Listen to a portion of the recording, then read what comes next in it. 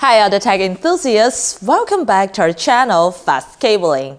So outdoor installation is where the challenges of distance and power supply often stump even the best tech expert.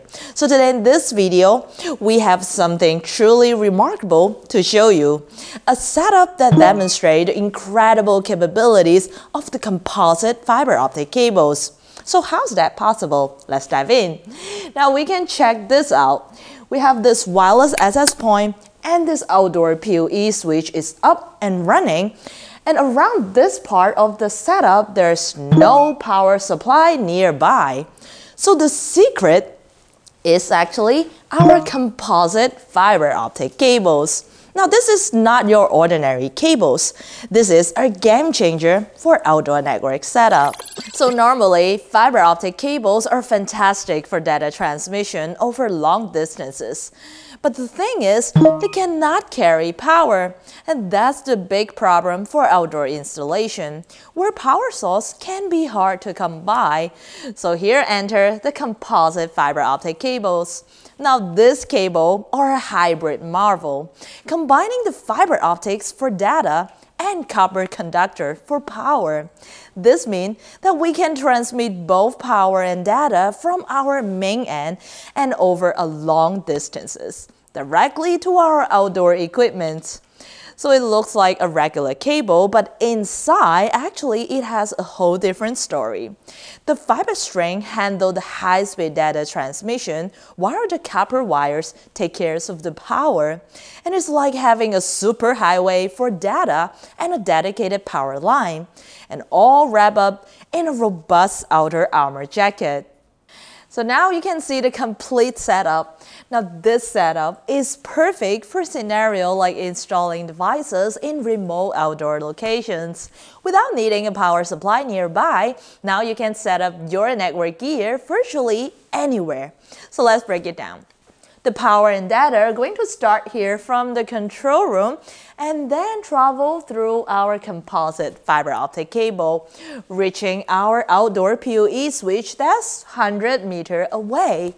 And voila, our network is live and kicking without the need for an external power source. So let's get our hands on. So let's start by connecting this router to a media converter using this Ethernet cable. So it come all the way to the media converter. Let's plug it in here. Now this is a critical piece since it can translate the Ethernet signal from the router into optical signal. So it can be transmitted over this fiber optic cable. And here we have an SFP transceiver. This is where we connect with the fiber optic cable. Today we're using this single mode LCE connector, fiber patch cord, so the fiber patch cord is all the way connected to this distribution box. Now this distribution box acts as our central hub, managing and distributing the fiber optic signal and support up to 12 string and also the power supply. So on the other side of the distribution box, we have the air switch. Now this is a safety device that protects our setup from electrical overloads and short circuits. And let's apply the power to our distribution box. Here we go. This is our composite fiber optic cable. It consists of two fiber optic strings and three wires. And one of this wire is dedicated to grounding, an essential safety measure to protect our equipment from electrical surges. So following our composite fiber optic cable, we have our outdoor surge protector. Now, this protector can ensure our outdoor devices are safe from electrical hazard. The composite fiber optic cable is here on this side connecting and we are going to also use a fiber patch cord to connect it all the way to the switch and the power supply also they're in place as well. We have the surge protector and the air switch. And also it has a protected case so we don't need to worry, it's waterproof. So finally, the composite fiber optic cable is connecting to this outdoor PoE switch. The power supply is already plugged in. Next, we are going to insert our fiber optic cable. Doing the same thing, this is the SFP transceiver. Let's plug it into the switch. And here is the fiber optic cable from our composite fiber optic cable. Last but not least, let's use an Ethernet cable to connect it all the way to our wireless access point. And one thing, this composite fiber optic cables can be directly buried underground. And this is where the magic happened. Now I'm going to turn on this air switch